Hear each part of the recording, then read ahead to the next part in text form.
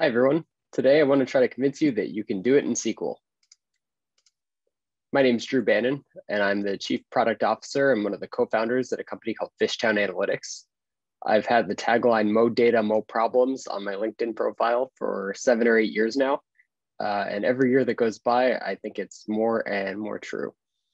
Uh, if you want to talk to me about SQL or anything else, you can find me on Twitter at Drew Banin. So really quick on Fishtown Analytics. Uh, we're the company that maintains DBT, which is open core data modeling software that provides a SQL, for, a SQL first workflow for data modeling, data testing, data documentation, and, and more. Uh, you can see the screenshot here is of the sort of data documentation uh, that's built into DBT.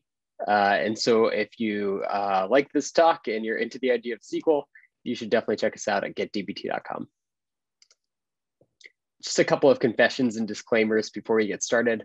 Um, I have never written a line of production Scala code in my life, but I have written a whole lot of SQL over the past few years. Um, so there's not going to be any sort of like side by side Scala data frame versus SQL comparisons here. In general, I think the people who tolerate Python packaging don't get to complain about the JVM, so to each their own. I just love SQL. Um, I fell in love with SQL back in 2014, and up until that point, my experiences with, with SQL were pretty limited to application development with uh, MySQL as a backing database. Um, I didn't really understand SQL and I was a little bit afraid of it. And it felt like there was a lot that I didn't know. And um, I couldn't understand why some of the queries that I ran were pretty fast and others uh, never, never actually returned. Um, so that all changed back in 2014 when I started doing uh, more analytics. I had been building an event tracking pipeline and got into sort of A B testing and did a lot of SQL based analytics using Amazon Redshift back then. Um, so that kind of changed everything for me. And it's opened up the world of SQL to me. Um, since then, it's been a powerful tool in my tool belt. And I've seen a lot of other folks uh, sort of grow and do really impactful work uh, via the entry point of, of SQL. Um, so here are some of the things that I love most about SQL. For one, it's expressive uh, SQL reads more or less like you know a, real sentence, and so it makes it really easy to get started with a select statement. Um, it's a very deep well that you can go down in SQL, and there's a lot to master. We'll talk about some of those things later today. But at the highest level, uh, if you can read one SQL query, you can read most SQL queries, and I think that's a beautiful thing. SQL is just so accessible. Um, lots of people can learn it pretty quickly, and I think that's part of why it's had this multi-decade long staying power in the sort of data and analytics space. Um, the barrier to entry is, is fairly low for SQL.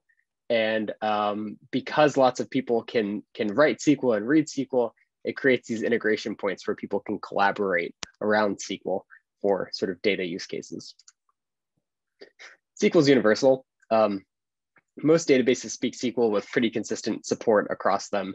Um, I think that you know, if you've if kind of got a handle on the SQL 99 spec, it's going to cover 90-ish percent of what you'd see in most uh, databases that speak SQL. Um, and what that means is that whether you're working with um, like a newer data warehouse or uh, some other tools, you're going to be able to transfer that knowledge that you have about SQL into whatever database that you're using. And I think that a lot of this like expressiveness and accessibility and uh, universality of, of SQL really comes from the fact that it's declarative. So there's no moving parts. There are kind of limited opportunities for the bad kind of magic that you sometimes see in programming languages. And recall, you know, I, I've written a lot of Python in my day, so I know magic when I see it. Um, because it's declarative, you get to just express the data set that you want to see, and you leave the heavy lifting and sort of the data access patterns to the database which in most cases, these databases can really optimize your queries to get the, um, get the data back to you faster for whatever you want to use the data for. Finally, SQL is thought-provoking. Um, a lot of people have opinions on, on where the commas go or indentation or capitalization, uh, uh, common table expressions versus subqueries. Um, I like that there's this sort of vigorous debate around SQL. Uh, I think it makes for a fun environment in which to work and collaborate. So I just want to take a little bit of time and talk about some of the things that you could do in SQL that you might not be familiar with if you haven't spent a lot of time there or if you've only scratched the surface with SQL. Um, I can tell you that while SQL is a declarative and, and sort of straightforward language, Uh, it is very, very powerful, and it's pretty rare that I encounter a problem I can't solve in SQL, um, at least in the analytics and BI space. Um, so if you've written off SQL already, or if you haven't dug in uh, super deep yet, hopefully you can take some things away from this, uh, this next section and you'll give it another chance. So the first technique we're gonna talk about is uh, pivoting columns. So when we talk about pivoting columns, the big idea is that we wanna take rows of data and translate them into columns of data. We would do that to derive new metrics from the existing rows in a table. So we can look at an example. This is an events table. And so there's a user who did an event at a certain time. That's an events table. And if we look at it, uh, you know, the sign up events and purchase events for a couple or really a few different users. Uh, so we have users one, two, and three. And depending on the user, they've either signed up and purchased or only signed up. The big idea is we want to translate this table into a different table that has one record per user and the date that that user signed up and their number of purchases. So we can do that in SQL using this sort of pivot uh, uh, design pattern. So here's the code that would do that for you in SQL. It's a really great design pattern. I employ it all the time. And the big idea is that you want to couple together an aggregate function with an expression. So in this case, the expression is a case when statement, and the aggregate function is the, the minimum or min function. So what we're doing here is we're saying if the event is a sign up event, then we want to take the happened at timestamp, otherwise give us a null value. And so what this effectively means is if there are no events uh, named sign up, uh, then you're going to get a null value and the minimum of a bunch of null values is going to be a null. So if you've never had a sign up event, you will have a null sign up date uh, versus if you have had a sign up event, then we'll take the minimum uh, happened at timestamp for, for those events. Um, we can see a similar example below for purchases. Here we're doing kind of the same thing, but instead of a minimum, uh, we're going to do a sum. And so basically this is counting the number of events that are purchase events. Um, so this is one of those examples of SQL being really composable. Like maybe you've seen uh, min or sum functions before, maybe you've seen you know case when expressions, but by combining them together, we can kind of implement this new pattern and do some pretty cool things with SQL. So the second technique we're going to talk about is appending data sets. Um, so in this example, we're uh, going to think about unioning a couple of tables together. And so the reason you want to do this is to combine different tables with similar schemas into a single table that's sort of taller. Uh, it has more rows in it. So it's a bit of a concatenation that we want to do.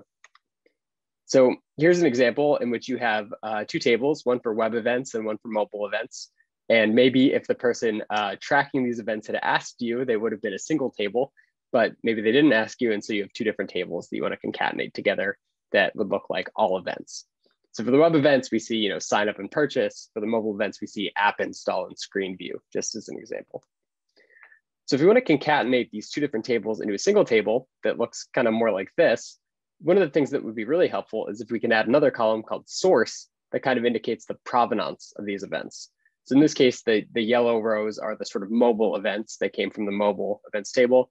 The blue uh, records are the web events that came from the, the web events table.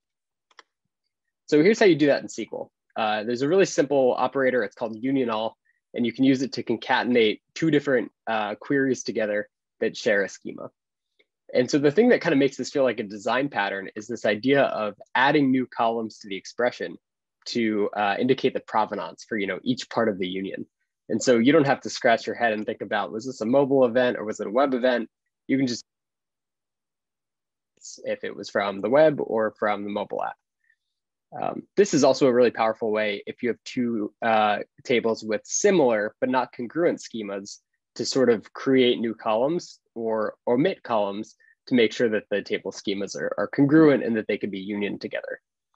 Um, in practice, SQL has a couple other set operators for uh, set differences or set intersections that can be really useful uh, for different kinds of use cases. So the last technique that we're going to talk about is window functions. Um, if you haven't seen window functions before, the big idea is that they apply transformations over just kind of a part of a table. Uh, why would you want to do that? Well, there's a million reasons why window functions are uh, very helpful. They're kind of like aggregates, but you get to kind of group by uh, different slices of the table or what we'll call partitions. Um, and turns out there's, there's a lot of reasons why that can be really helpful. So we'll take an example In this case, we've got two different users with kind of two different uh, sets of page views. One looked at the product page and sign up page. One only looked at, uh, we say the app page. And there's also a user touches table that we want to kind of create. So in this user touches table, we want to show the first page path that the user visited.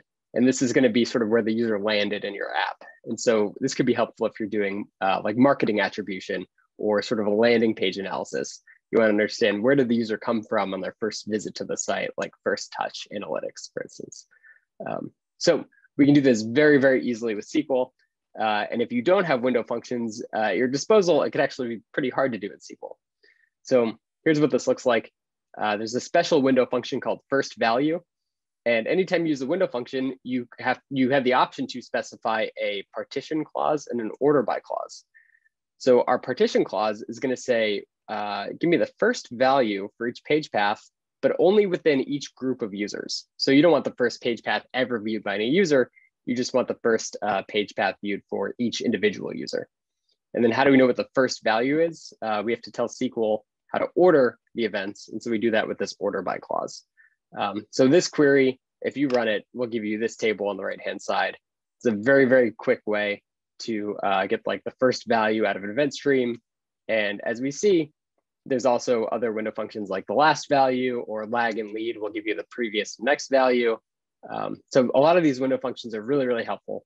The one that I want to call out is this row number window function, which helps you kind of uh, assign an index to a bunch of rows. It's a very good way to quickly deduplicate large data sets. So instead of doing a distinct over an entire data set, you can kind of uh, give a, a, row number to the different rows, partitioned say by um, a, like an ID, and then you can uh, select out only the rows with the row number one. Uh, so in practice, that's a very, very quick uh, and efficient way to deduplicate large data sets, just one of the very many use cases for window functions out there. So I'd be doing you a disservice if I didn't tell you that there can be some downsides to writing a lot of SQL. Uh, SQL is certainly a straightforward language. It makes it easy to pick up. Uh, it has a lot of depth to it, but it can lead to scaling scaling challenges if uh, if you're not careful. So the bad parts of SQL, well, as a simple language, it doesn't really have any notion of functions for code reuse. And so that might either lead to you doing a lot of typing, which could lead to some typos, uh, some, some sort of syntax errors, things like that, um, logic errors even. And uh, it might also lead to a lot of copying and pasting, where if maybe you're less familiar with SQL or your colleagues are less familiar with SQL, you just kind of grab some code that worked from one place, you copy and paste it over to another place. This presents a real challenge because anytime that you're copying and pasting logic or writing out a lot of sort of individual lines of code, there exists the opportunity for business logic to diverge between different you know, parts of the code base. Um, so this is something that SQL actually makes a little bit challenging to manage, but there is fortunately a really good answer, uh, which is that we can add templating. So what does that look like? Um, here's an example of some code. This is not standard SQL. This is sort of something you would layer on on top of SQL. And in this particular example, we're going to take a page out of a playbook from uh, like kind of web development in which you might template out HTML web pages. So what we're looking at here is a language called Jinja, and it's a templating language. And this code that you're looking at would actually run in DBT if, if that's something that you're interested in. So the big idea is that you can enumerate a list of events. So in this case, page view, sign up, and purchase. And then you can loop over those events and generate a valid SQL query. So this is what that generated query might look like. And you can see uh, totally valid. This actually implements the sort of pivot example that we were looking at a little bit earlier. And so if we go back to the source code, you can see it's pretty easy to add a new event to the list on line two. And you don't have to touch any of the other code. It all just kind of works. Um, so really cool. One of the ways to help with scaling SQL is to consider templating your SQL. And if you want to go farther down this path, you can actually use things called macros that are kind of reusable, uh, almost functions that return SQL. And that's a great way to abstract out common logic and prevent the need for you to sort of repeat the same code over and over again. So I would argue that for most uh, problems you might want to solve in data, you could do it in SQL. But just because you can, you know, should you? Well, I'd say yes. Uh, I think you should do it in SQL if you can. One of the big reasons is that SQL is just so dang accessible. And by uh, writing code in an accessible way, you can bring more people into the analytics process. So whether you're a data engineer or a data scientist or an analyst, you can all collaborate on code together. Um, it helps kind of bring other people into the process. Um, and as a really big added benefit, non-engineers are empowered to understand this business logic in a way that isn't so true if the code was written in you know python or scala or something like that. Um, turns out because sql is so accessible you can get other folks involved in sort of self-serving the answers to their questions like how is this column defined or where does this data come from? That's a really powerful thing. It sort of removes us as the uh, bottlenecks from the communication process by kind of giving the access to the data or really the, the business logic to all the different stakeholders that we work with. So ultimately, more people can contribute in more varied and interesting ways, and that tends to be a really good thing. So casting our minds to the future, uh, what do we think the future holds around SQL? Well, I believe that more data workloads are going to converge around SQL. Um, I think that we're already seeing that this is the case. Databases are steadily improving their support for more sophisticated SQL operations like AI and ML type uh, tasks, tasks and uh, streaming analytics and and maybe some other things that we're not so attuned to yet um, that, that I think might be on the horizon. I think as a, as a result of these workloads moving to SQL and improved support from databases, we're going to see that more roles will require SQL knowledge and aptitude uh, for people kind of operating um, at, at their most efficient and their most capable.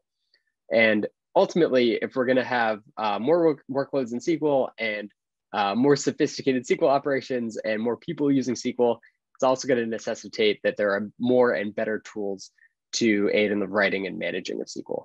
I think that's really exciting. I think SQL is a great, a great language, and I've seen it uh, sort of transform my own life and career, and I've seen it do the same to, to many others. So uh, here's to SQL, and um, at this point, I'm kind of curious what you think. Do you love SQL? Do you hate SQL? You think you want to give another shot? Uh, are there any of your favorite tips or tricks that I might have missed? I'd love to hear about them. Uh, thank you so much for sticking around and learning about SQL with me. Um, hope you enjoy the rest of the conference.